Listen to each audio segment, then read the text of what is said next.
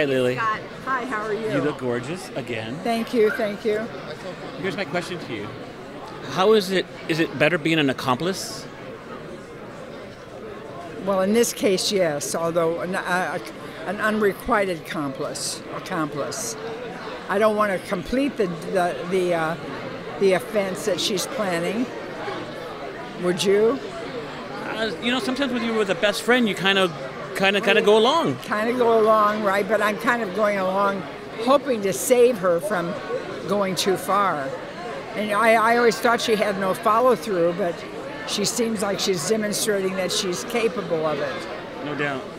Lily, is there just one moment in your life that if this thing didn't happen, this one thing didn't happen, you wouldn't be here right now? Is there such a little pivotal point in your life?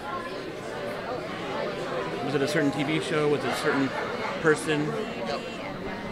My gosh, what a question. That's a great question. Thank you. Um, I don't know. And that's a tough one. What about you? What about you? Oh, that's a good one. I think when I was homeless, I think I, I turned my life around. No. No, it's no, and that's okay. I sold my That's company to a big time company, so it's okay. But things happen to make you better. So Yeah, gosh. I'm, I'm going to ponder this question. okay. Have you been accomplished on anything in real life, like a like a good thing or a bad thing? Oh, yeah, sure. a few things. Okay. Well, you're stunning as always and smooth as silk. Okay. You are. You are. Thank you a Great, lot. great talking to you.